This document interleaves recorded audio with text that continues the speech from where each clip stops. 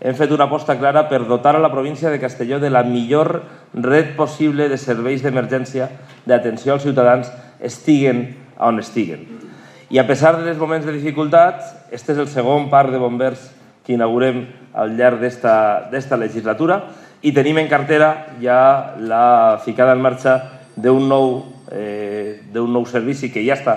eh, operatiu a nivell quasi experimental de bombers voluntaris en, en Atgeneta i una consolidació d'alguns altres parcs de bombers, millorant infraestructures e intentant dotar a qui així acudeix a treballar, però sobretot a qui rep aquest servei, de les millors condicions.